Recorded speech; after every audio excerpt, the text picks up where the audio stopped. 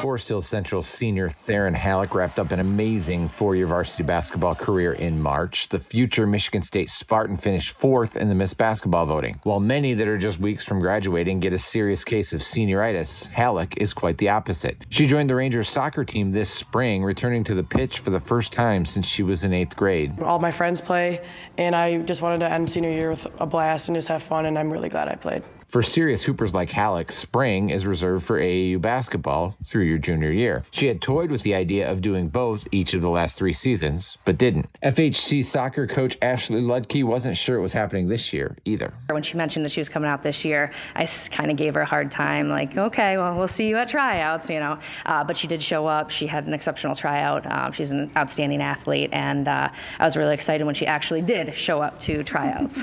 Hallock has scored 20 goals in 11 games, including netting a hat trick in four straight games last month. There was a noticeable lack of rust created by three years off. It was definitely new. A lot of my friends play, so I've kind of always been like surrounded by soccer. But once I got into tryouts and practices, I got my touch back and I was pretty excited. But it definitely was a big change from obviously going with basketball, which is all hands, to soccer, there's just feet. Hallock wasn't going to jump into a sport she hadn't played in a while months before reporting to college without checking with her future head coach, Suzy Merchant, first. I did mention it to her a little bit. I was like, I'm going to play soccer, and she was really good about it because it's a, obviously a sport that I can stay in shape and just get a different kind of run in. The Rangers are coming off a state semifinal appearance last spring and hope that the addition of Hallock can push them to the top this year. For Hallock, the chance to be a part of the team has been a great experience. We have a really good team, and we have a lot of good team chemistry. Um, we're really young, so it's a lot of fun to see like players grow and just to bond easily with people. It's obviously way different than basketball because there's a little bit more numbers in soccer. She's a lot of fun to uh, be around. She brings a lot to our team outside of her athletic talents, and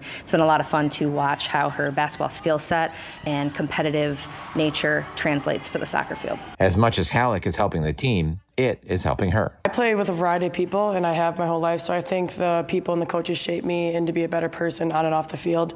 And I think just with playing the two most opposite sports, it's definitely shaped me and my personality and all the things that go into both sports.